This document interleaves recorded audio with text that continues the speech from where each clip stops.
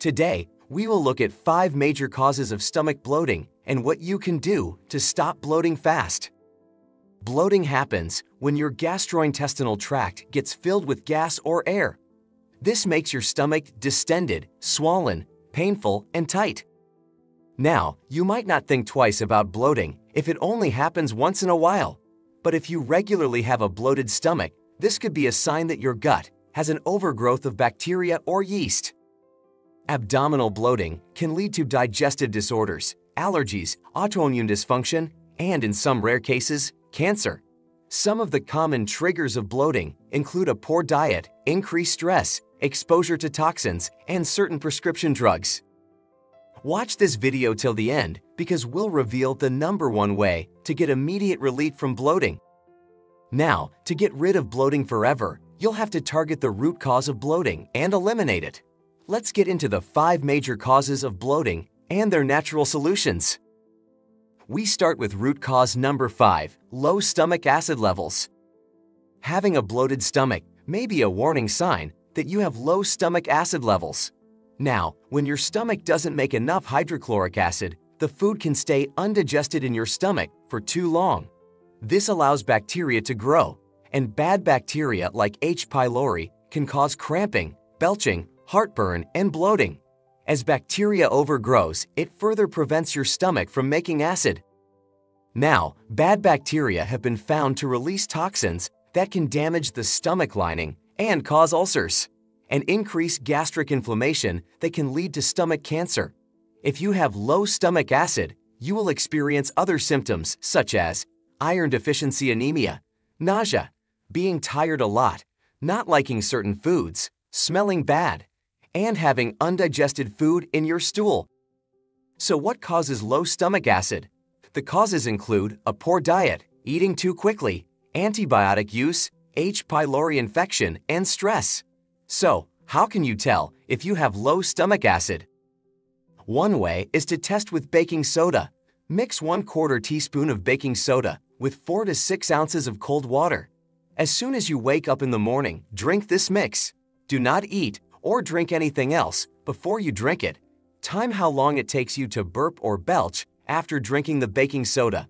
If it takes longer than 5 minutes, your stomach probably isn't making enough acid. To stop your bloating, you can use betaine HCl to improve stomach acid.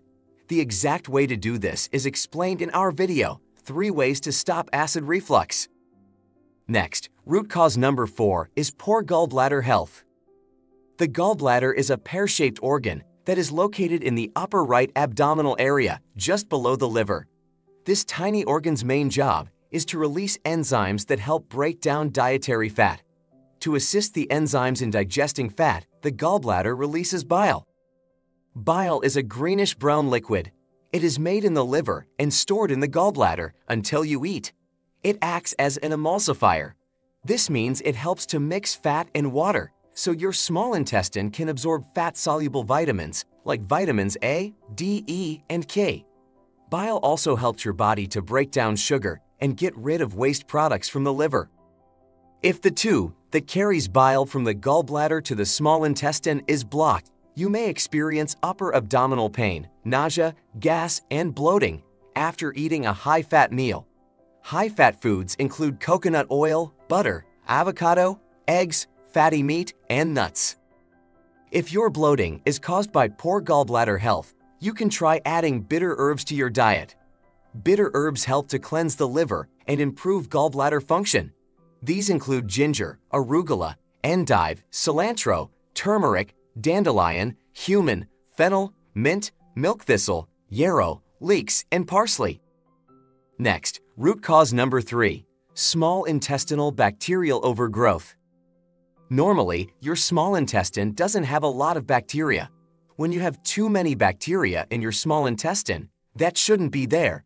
This is called small intestinal bacterial overgrowth, or SIBO. Bad bacteria in the small intestine produce methane gas and sulfur. This can lead to abdominal bloating, cramping, gas, diarrhea, heartburn, food sensitivities, leaky gut syndrome, and body-wide inflammation. Many things can cause an imbalance in gut bacteria. Common causes of SIBO include taking antibiotics, steroids, or acid-blocking drugs, PPIs, or damage and blockages in your gut, such as scarring or diverticula. One simple way to test for SIBO is to eat a bowl of steamed broccoli and observe how you feel over the next three hours. If you experience bloating, gas, cramping, acid reflux, or other digestive symptoms, it means there are too many bacteria and your pancreas is not producing the necessary enzymes to break down food in your gut. The best treatment for bloating caused by SIBO is to eat a low FODMAP diet.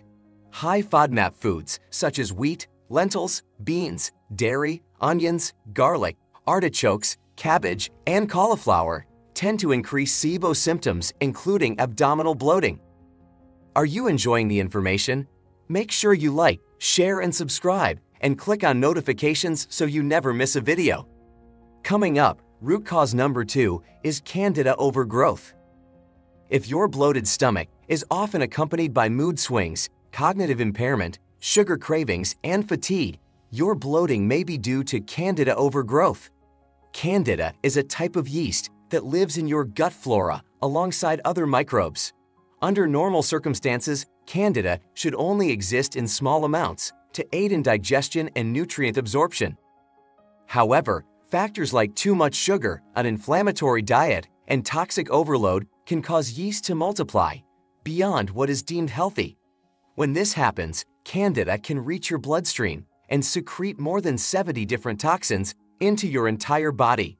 This can lead to liver dysfunction, overactive immune response, and even cancer growth.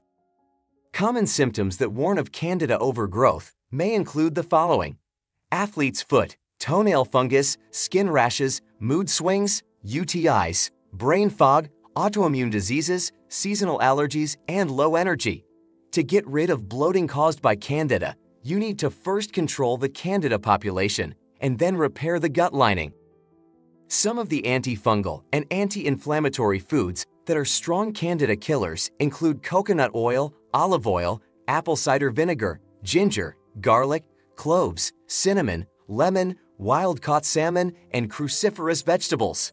To repair your gut lining, see our video, 5 Foods That Cause Gut Inflammation. And the number one root cause is food sensitivities. Abdominal bloating may be one of the first signs of food sensitivity or intolerance. Other symptoms associated with food sensitivities are often unique to each individual. Keeping a journal of everything you eat while you go on an elimination diet can help you figure out your food sensitivities.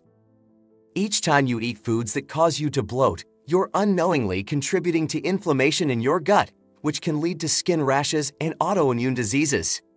Eating inflammatory foods can cause an imbalance of bacteria like Candida, which can trigger leaky gut syndrome. To start an elimination diet to figure out what is causing your bloating, take out the following foods from your diet for two weeks. Vegetable oils, gluten, dairy, refined sugar, corn, soy, eggs, grains, shellfish, tree nuts, legumes, and nightshade vegetables. After two weeks of not eating these foods, start to add them back into your diet, one at a time. Try a new food for two or three days. See if you have any symptoms.